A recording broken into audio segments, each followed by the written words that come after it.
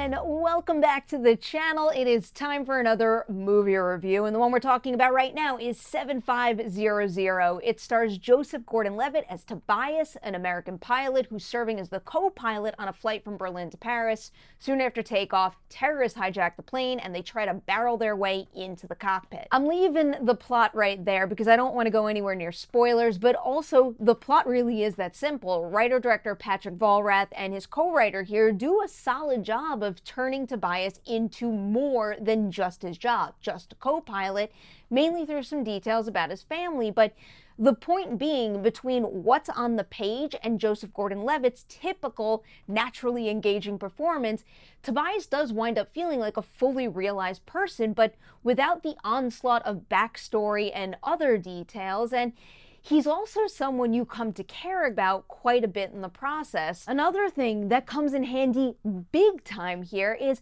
how accessible Gordon Levitt makes Tobias. He doesn't sit there and explain his thought process while dealing with the situation, but Gordon Levitt makes Tobias's headspace so, so accessible, and that right there kind of justifies all of the decisions he makes. And it also makes the whole thing pretty tense and emotional as well.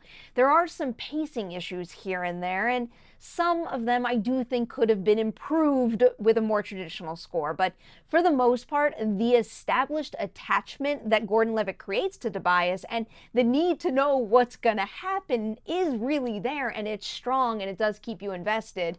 You also might know one of the big things about this movie is the way it was shot almost the entire thing takes place in the cockpit with the movie cutting to the uh, the cockpit door camera to provide a limited view of what's going on inside the cabin. I am always endlessly fascinated by unique storytelling formats, so I did find that approach visually fascinating from top to bottom here, but I also do think that approach worked in the story's favor as well, especially when it comes to certain themes that I think Vollrath was really trying to get at here. I can't really make this next point without revealing a light spoiler, but it does feel necessary for this review, so I just wanted to put that out there and give you a fair warning. While I do feel like Vollrath needed to push this particular idea a little harder for it to really make the necessary impression, I did still think that the concept of learning more about one of these hijackers and what might have motivated him to do this was very intriguing. And while it may sound a little on the nose here, the concept of assessing this bigger situation while you're locked in a cockpit does speak a bit to any problem that could arise and what could happen when you're the one assessing some sort of struggle or challenge, but from a different or limited vantage point. I really do wish the movie had focused on that a little more because really ultimately without it, the whole thing would have been a pretty thin experience, but Still, this is a very ambitious and impressive first feature for Vollrath. Even with the limited space, he does manage to keep his visuals dynamic, and his improv shooting style definitely ups the naturalistic feel of the movie overall here.